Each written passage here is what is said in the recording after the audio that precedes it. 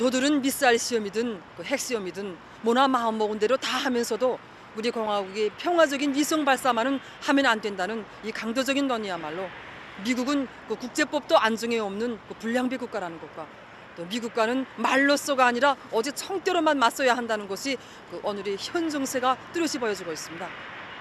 미자 구 추종 세력들이 우리 공화국에 대해서 제재에 모여하면서 나발을 불더니 이 추가 제재를 운운하고 있는데 이 제재 도수가 높아질수록 우리 군대와 인민의 이 분노와 격분은 더 폭발되고 있습니다.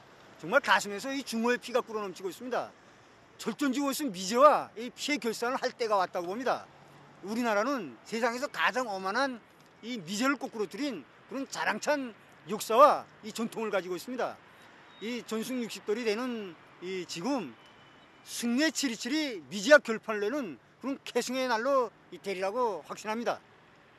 경양 원수님이 결심은 언제나 우리 군대와 인민의 신념이고 우지고 또 원수님의 선거 용도는 적들과의 대결에서 반드시 승리할 수 있게 하는 이런 필승의 그 담보라고 이렇게 생각하는 것이 우리 전체 교직원 학생들의 한일 같은 신념이고 우지며 또 원수님께서 일단 명령만 내리시면 달려나가서 적들과의 총결선에서 반드시 승리하고야 말 이런 결의에 우리 모두가 찬원쳐 있습니다.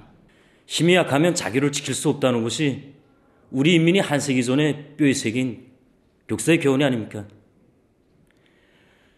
군력을 강화하고 힘을 키워서 적의 안전을 지키고 자기 민족의 전원과 이제 자주권을 지키자는 건 우리 인민 모두의 확고한 결심이라고 생각합니다.